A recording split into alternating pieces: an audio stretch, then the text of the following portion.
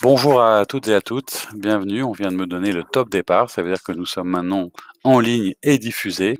Euh, merci de nous rejoindre, merci d'être avec nous pour ce Rex. Alors vous le savez, Rex, c'est évidemment un retour d'expérience, c'est-à-dire que l'objectif, c'est d'être à la fois rapide, efficace, concret, et puis de partager entre pairs, justement, pour vous inspirer ou avoir de nouvelles pratiques. Évidemment, et vous connaissez ça par cœur maintenant, le mode d'emploi est assez simple. Euh, je vous demanderai de bien couper vos micros et, pour l'instant, les caméras.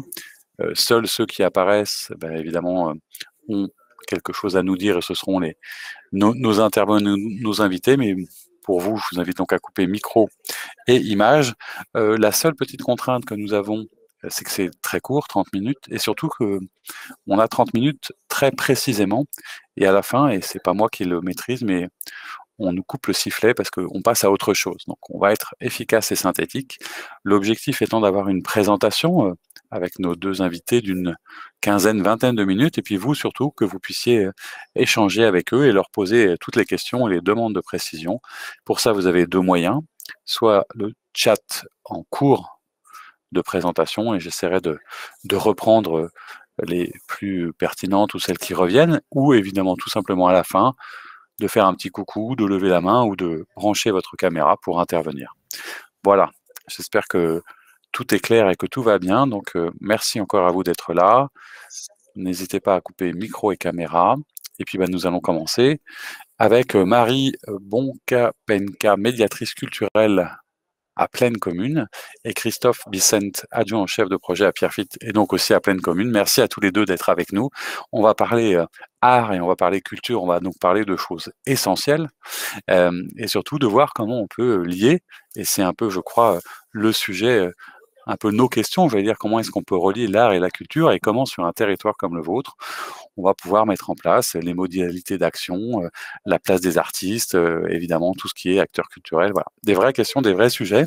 Et sans plus attendre, bah, je vous passe euh, la parole tout de suite, Marie, pour nous faire une, une présentation à la fois du territoire et du projet.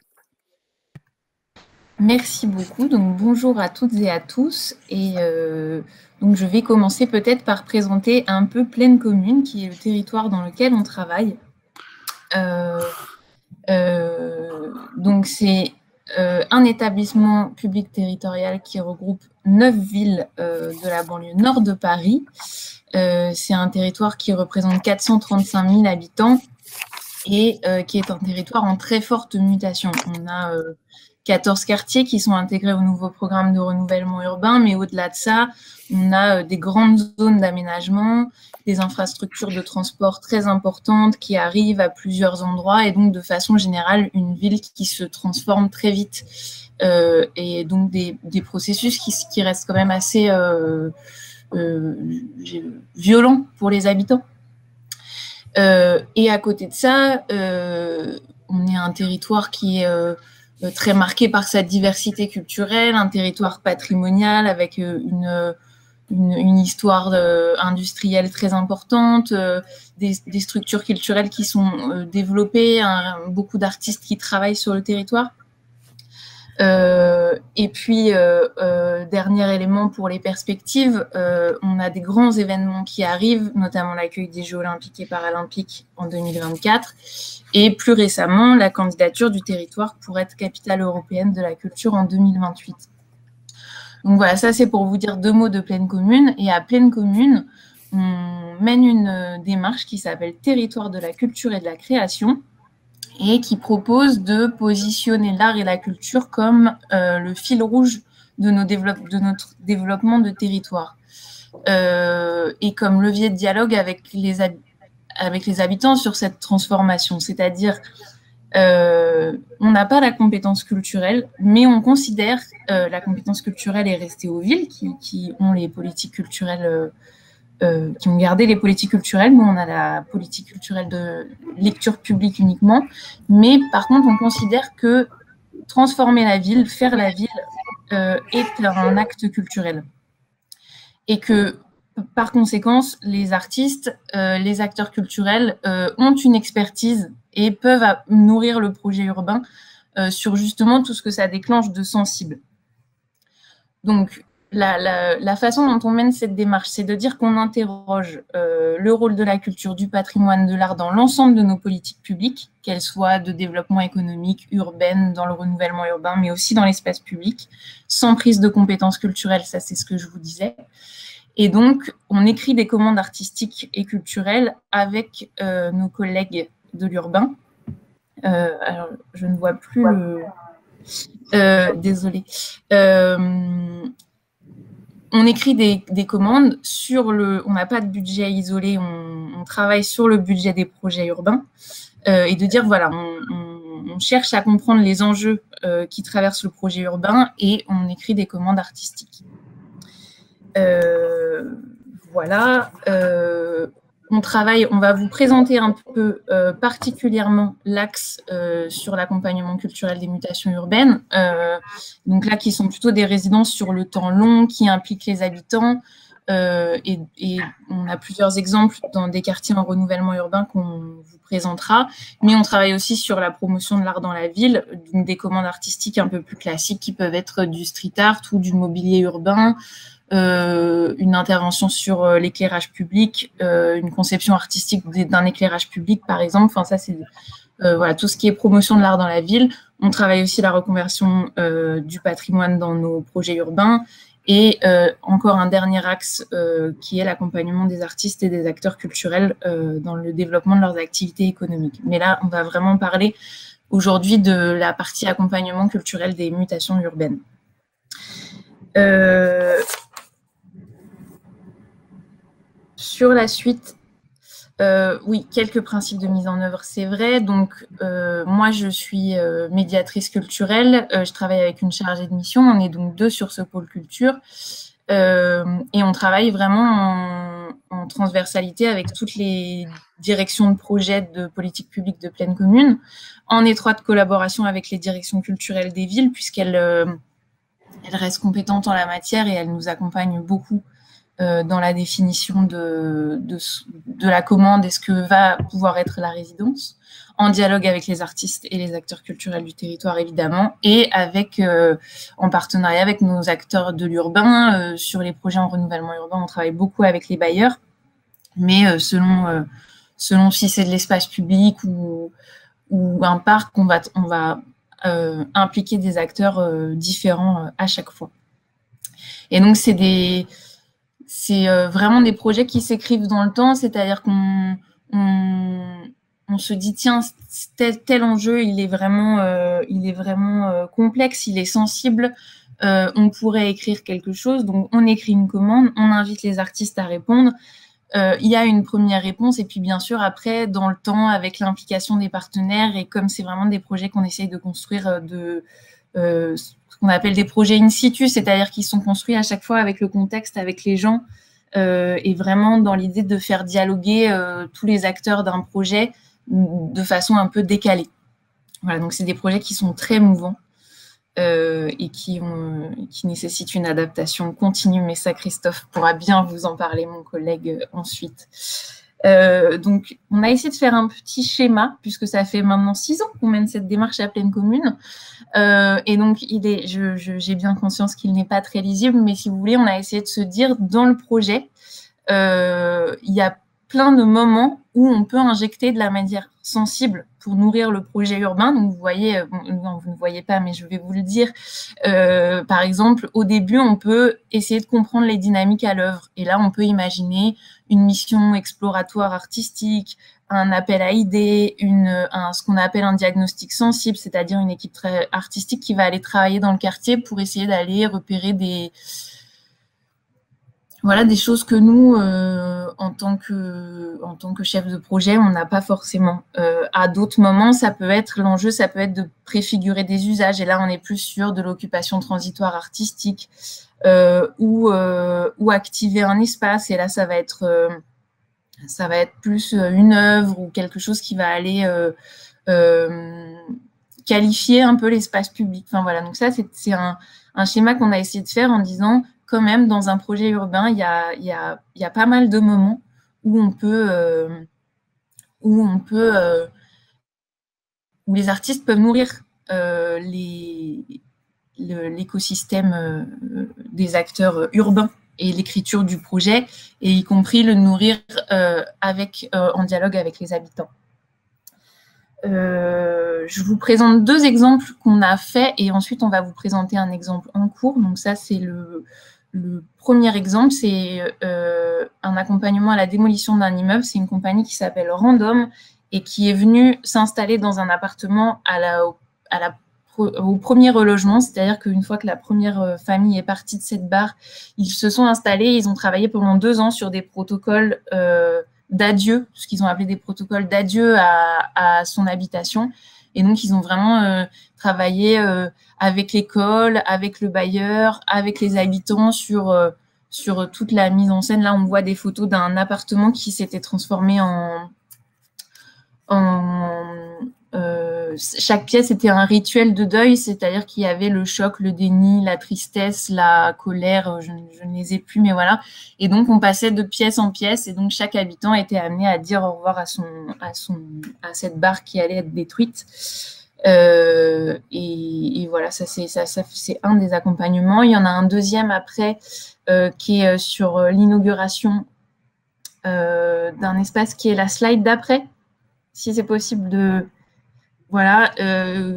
ça, c'était un enjeu que nos collègues nous avaient fait remonter en disant comment on peut considérer l'inauguration d'un espace public plutôt comme le début de quelque chose que comme la fin. D'un, souvent, on dit l'inauguration, c'est la fin du chantier. C'est quand même le début de la vie publique. Et donc là, c'est une compagnie qui s'appelle Friche Théâtre Urbain, qui a travaillé pendant trois mois avec les habitants sur l'écriture d'une pièce qui était 24 euh, heures dans la vie d'un espace public.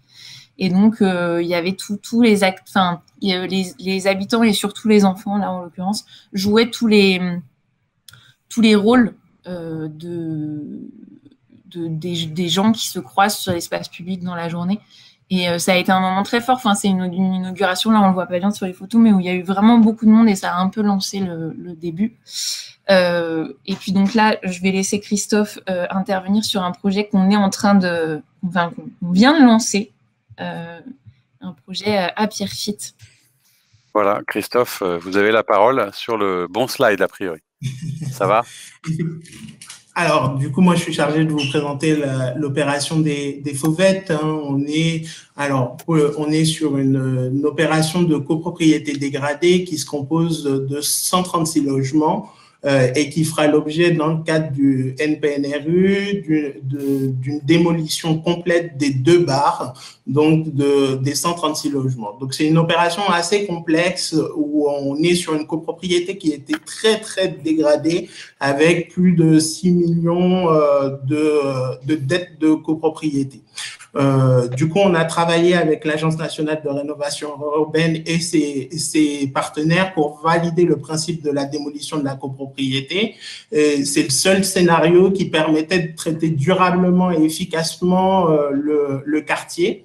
Euh, Aujourd'hui, on a missionné un, aménageur qui est la Soreca et qui est en charge d'acquérir la totalité des biens et démolir ensuite la copropriété.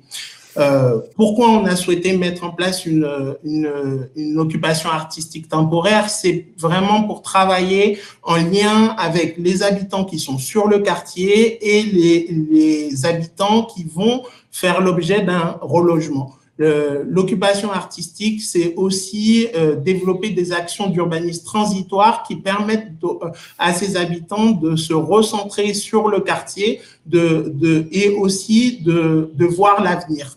Euh, les objectifs, ils étaient au nombre de deux. C'était un, favoriser la création artistique euh, par la mise en, euh, à disposition temporaire de, de lieux de travail euh, à destination des artistes, d'associations artistiques ou encore de collectifs. Et deux, faire émerger vraiment une communauté d'artistes dans les, dans les locaux puisqu'on mettait à disposition euh, des logements qui permettaient, qui permettront ensuite de, développer une, culture artistique sur le site qui nous servira ensuite dans le NPNRU. Donc, on, a voulu, euh, à travers cette opération, mettre en place euh, une occupation artistique éphémère pour accompagner la démolition et euh, créer des conditions économiques qui nous permettent de, de, développer euh, cette résidence d'artiste.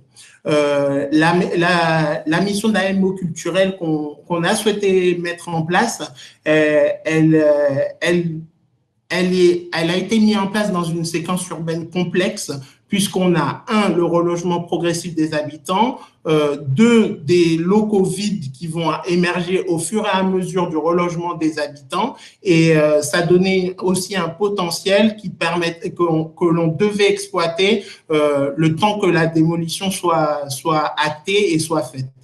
Euh, Aujourd'hui, on a missionné cette, euh, la, la, une association qui s'appelle la Main 930. On l'a missionnée jusqu'en 2025 pour accompagner cette démolition.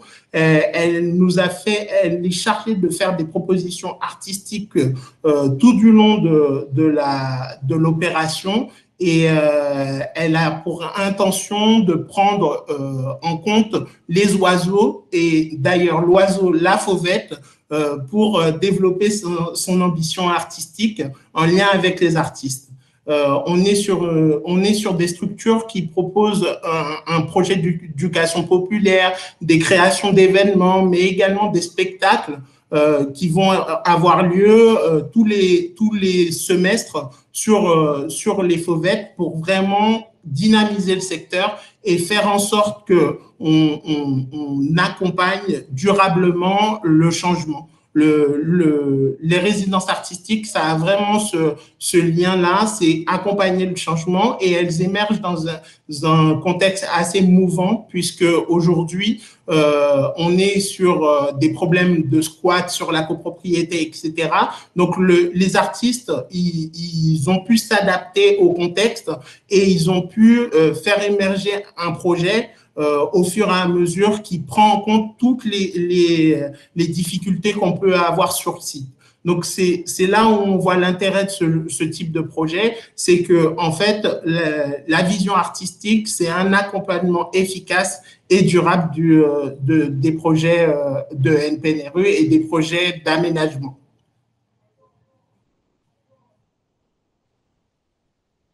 Euh, et puis c'est vrai que de façon, enfin c'est vrai que dans le, ça, ça, impacte le projet urbain aussi beaucoup dans la manière qu'on a travaillé parce que quand même on se retrouve à discuter avec nos partenaires euh, sur des thématiques qui sont tout à fait euh, euh comment dire qu'on n'a pas l'habitude de travailler quoi.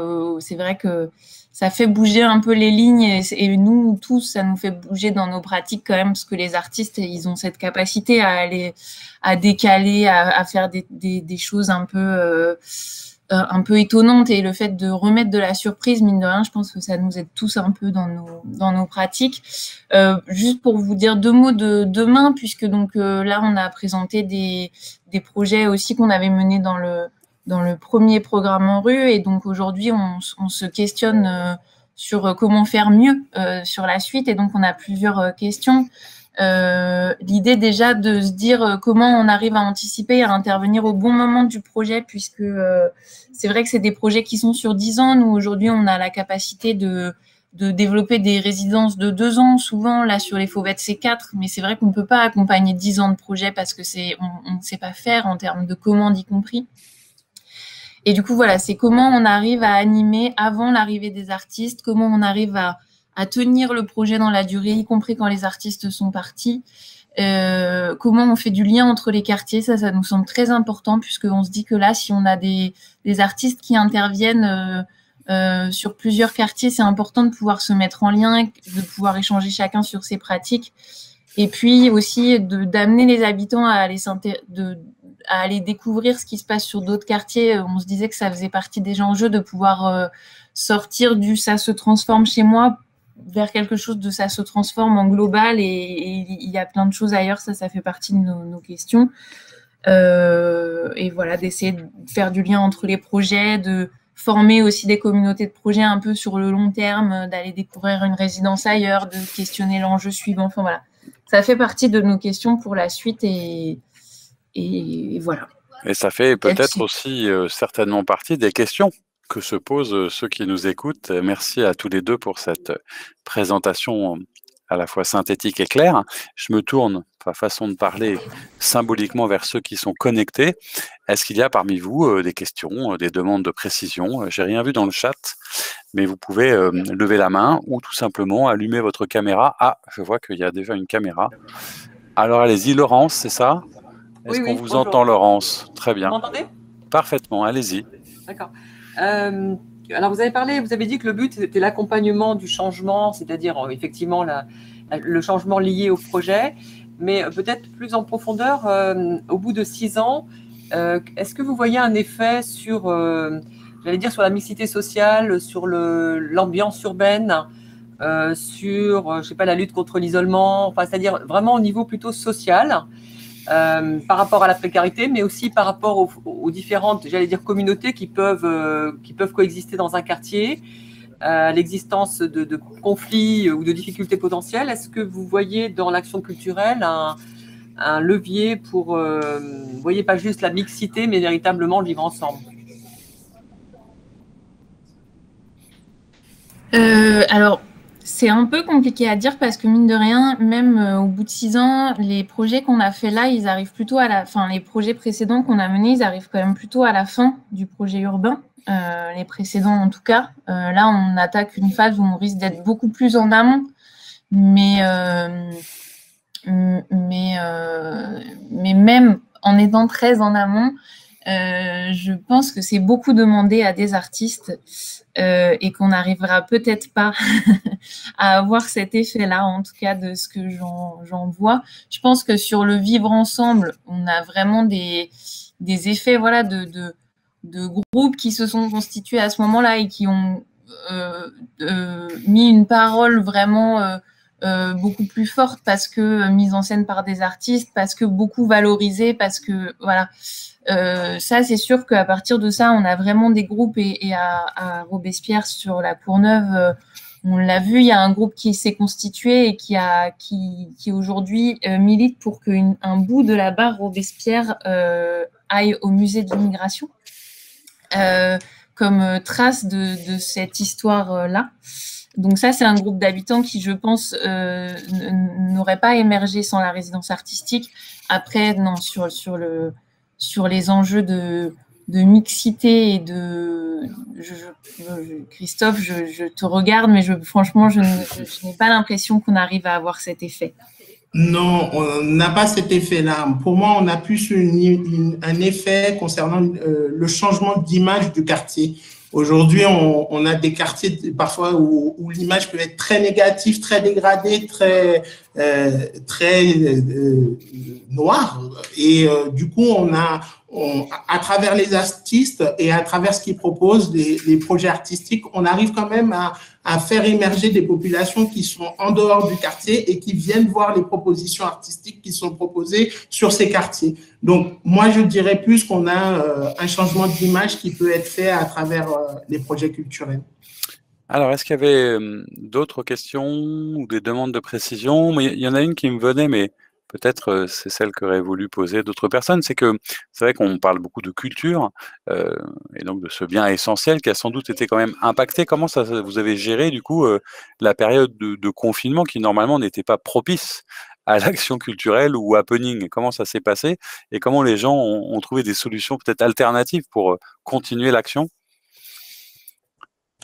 Alors du coup sur euh, sur la période Covid, effectivement, on était sur des moments assez difficiles euh, euh, pour les habitants. On a on a inventé en tout cas, les artistes nous ont proposé de nouvelles façons de voir, voir les choses. Donc, des projets en porte-à-porte, plutôt un par un, pour aller à la rencontre des habitants, ou des projets en pied d'immeuble, où on, on organisait des petits collectifs euh, de moins de 5-6 personnes où on regroupait des personnes pour animer l'espace et euh, rencontrer euh, les habitants. En fait, c'est une façon de faire différente. En général, on fait des grands événements qui regroupent, du monde, etc. Et là, on s'est adapté au contexte sanitaire pour, pour, pour, pour développer des, des mini-structures et des mini-événements. Ce qui peut-être paradoxalement d'ailleurs a, suscité je me tourne vers vous aussi, Marie, par rapport à la médiation, peut-être plus de liens et plus de relations que ce qu'on imaginait, parce qu'il y avait du coup une attente qui avait peut-être été créée par l'absence de lien, justement. oui, oui, bah, c'est vrai que nous, on a l'avantage, souvent les artistes qui répondent viennent plutôt quand même souvent des arts de la rue ou des arts plastiques et du coup euh, savent s'adapter. Mais euh, nous, dans un autre quartier, on a une résidence qui est sur une friche, qui est une occupation transitoire d'une friche d'un terrain nu euh, sur deux ans. Et eux, ils ont décidé d'ouvrir vu que c'était un, ça, ressemble à un grand, un grand jardin, quoi. Ils ont décidé d'ouvrir pendant le confinement d'avril, là, puisque les gens étaient euh, autorisés à aller à l'extérieur, et, euh, et, ils ont eu du monde tous les jours, euh, qui, qui, se sont lancés dans des projets de théâtre, ce qui n'est pas forcément toujours simple. Et là, vraiment, on a eu un, un, super retour, y compris des gens qui avaient un peu besoin d'être ensemble, même si c'était 4 par 4, quoi. Donc voilà, comme quoi hein, la culture a vraiment permis d'apporter quelque chose. Est-ce qu'il y a hum, d'autres questions? Je vois qu'il y a une caméra qui s'est allumée euh, là-bas, mais peut-être est-ce une erreur? Non, non, c'est bien. Alors allez-y. Jean Bouvier. Oui, euh, ma question c'était, alors c'est difficile de mesurer les effets sociaux, sans doute, de ce que vous faites, mais est-ce que vous demandez aux habitants la perception qu'ils ont? Est-ce qu'ils sont plutôt contents? Ils, perçoivent ce qui est fait? Vous le mesurez d'une façon ou d'une autre?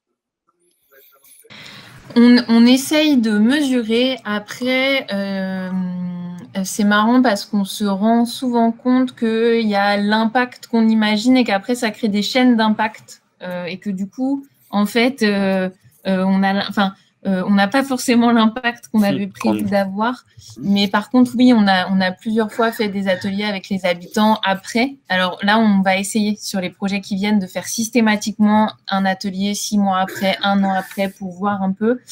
Euh, mais c'est vrai qu'il y a des choses auxquelles on ne s'attendait pas. Euh, parfois, c'est des habitants qui se sont rencontrés à ce moment-là et puis qui font du covoiturage ensemble, par exemple, un an après. Enfin, vous voyez, c'est des choses euh, qu'on n'attend pas. Et des fois, il y a aussi un, une transformation. Et alors là, l'exemple qui me vient est un projet d'aménagement.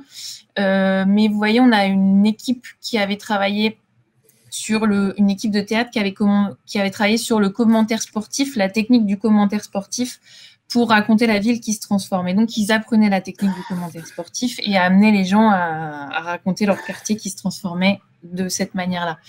Et on a fait un grand tournoi sportif à la fin du projet où les aménageurs se sont retrouvés à jouer au foot avec les habitants, avec nous, avec euh, les écoles, avec euh, c'était une journée tout à fait euh, étonnante. Et dans les réunions publiques, le fait à un moment d'avoir eu des, habitants qui se retrouvaient à jouer au foot avec les aménageurs a beaucoup transformé la façon dont on, s'est parlé par la suite. Donc ça, des fois, vous voyez, on arrive à, identifier des micro, comment dire, des micro impacts euh, et qui vont peut-être créer d'autres impacts, mais pour l'instant, on n'a pas assez de peut-être pas assez de recul quand même. Je vous voyais acquiescer, Christophe. Vous aviez d'autres anecdotes aussi euh, sur ce sujet?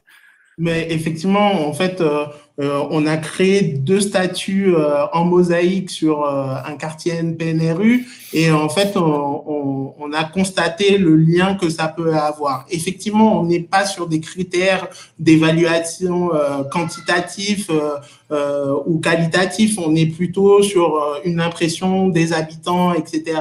Après, effectivement, on peut voir au nombre euh, qui se développe de plus en plus, le nombre d'habitants qui participent, euh, un, lien, un lien social qui se développe. Voilà, ce qui est quand même un, critère important.